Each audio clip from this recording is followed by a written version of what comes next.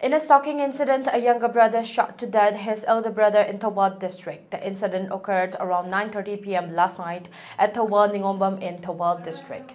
The deceased has been identified as Sapam Swaminath, 47 son of Sapam Ibomcha, and the culprit is Sapam Somorjit, a younger brother of late Swaminath. Late Swaminath was a teacher of Thoubal Tomjin Anandapur English School, and his younger brother Somorjit is a security guard for installation of money on ATM booths. The main cause of the altercation resulted to shoot the elder is yet to be established. The culprit has been arrested by Thoubal police and the deceased has been kept to JNIMS morgue for autopsy.